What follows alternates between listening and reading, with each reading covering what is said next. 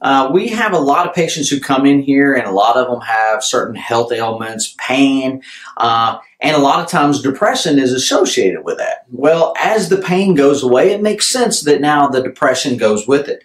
Uh, but we have had some people that were diagnosed clinically depressed that didn't necessarily have the pain syndromes that also improve. So you're probably thinking, well, how does upper cervical chiropractic have anything to do with depression? How does the spine affect how you feel?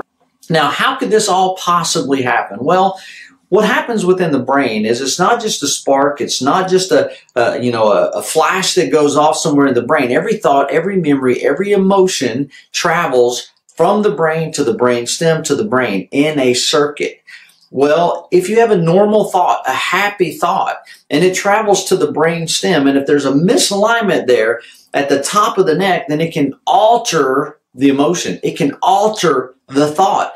Like stepping on a garden hose, what you have going into the brainstem isn't what comes out and goes to the other part of the brain that interprets it. So maybe the initial intention is right.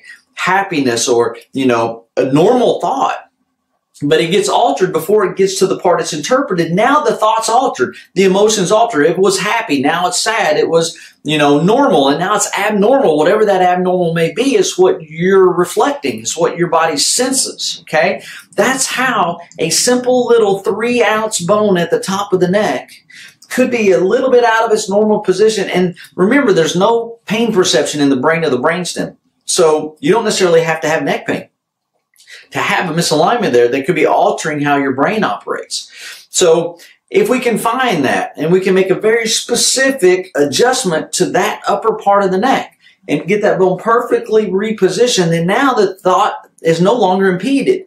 So now that happy thought, that normal emotion that travels to the brain stem to another part of the brain is unimpeded it arrives as it's intended. If it starts happy, it ends happy. However the emotion may be, it can all be affected right there.